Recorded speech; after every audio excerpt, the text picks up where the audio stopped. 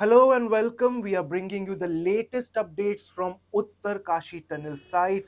The latest update is that the rescue work has been halted again. It was expected that the workers will be rescued by 8 o'clock in the morning, but a bit of problem has happened, and the problem is that the drilling machine is not working again. Now, experts have been called and uh, the rescue workers, NDRF and other agencies, all involved, they were trying to lay down a pipeline of 800 meters.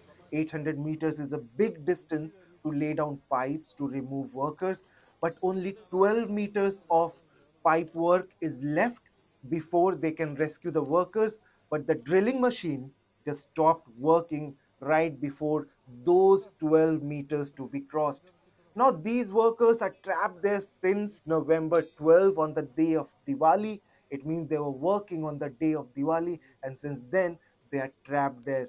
Uh, people are able to speak with them, authorities are able to speak with them, rescue workers are able to speak with them, communicate with them, and just few more hours are left.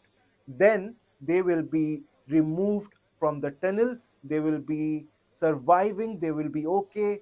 Things will be okay with them but at the moment, the biggest update that is coming on from there is that 12 meter of work is still pending and for that it will take time. I'll tell you a little bit about what is this Uttarkashi tragedy and what is the Silkyara tunnel project and what rescuers could do so far.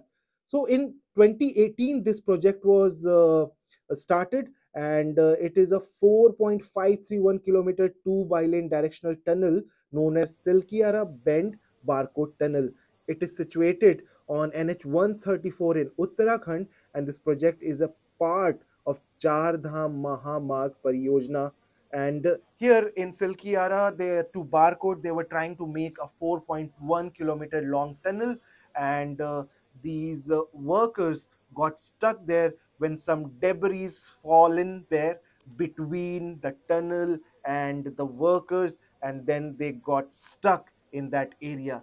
Thankfully the people who were outside they were able to communicate with them. So now the rescue is like a full-fledged operation. Uh, it's just a matter of few hours and they should be out safely so chief minister pushkar singh dhami and uh, general vk singh who is a union minister they are reaching there to see uh, how the progress is going on. The biggest problem is that the machines are uh, malfunctioning most of the times and then the rescue time is increasing again and again.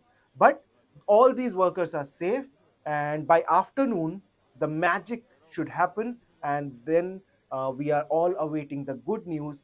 These people should be out. From breaking news, detailed analysis, in-depth interviews and explainers follow the Times of India. Subscribe to our YouTube channel. Don't forget to like our videos and hit the bell icon to stay updated with the latest.